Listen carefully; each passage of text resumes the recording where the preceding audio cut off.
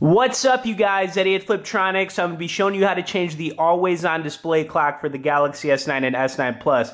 All right, switching this up is a great way to customize your phone a little bit more. It's actually pretty easy to do, and there's some nice options for doing it. Uh, anyways, we need to go into our settings to get to where we need to go, and then you want to click on lock screen and security. So from in here, you're going to see the uh, option down here that says clock in face widgets.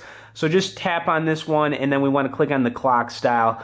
All right, so I was actually messing around the other day and found this one to be really sweet. I don't know what it's even called or there's no name for it, but it's kind of got like the time going down and it's got like these little almost like square things going on. This one's pretty cool too. Kind of looks like Iron Man a little bit right there for some reason. And uh, there's a few more options in here. Um, anyways, when you found what you you want to use, uh, you can just click on it and then you can change the color up.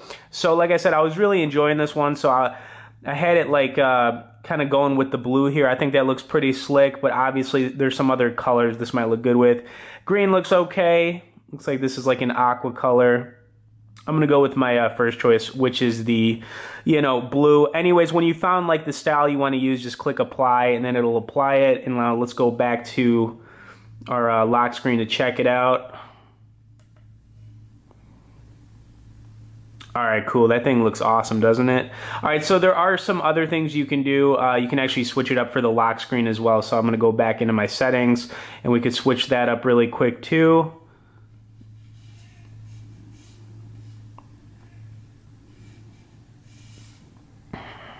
All right, so clock style. And like I said, there's a lock screen option you can switch up to. And let's see, let's say I want to use the same one. Actually doesn't look as good on this, uh, on the background I've got right now. But anyways, I'm going to apply it. Now let's go back. Let's check both of them out. All right, so we got the always on display here, looking good. Then we got the uh, lock screen, it's up there. Pretty cool stuff, right? I mean, it, this is a nice way to customize your phone a little bit more. Like I said, anybody out there rocking the S9 or S9 Plus, uh, if you appreciated this video, please hit that like and share button. Um, and if you're not subscribed, hit that subscribe, and we'll see y'all later.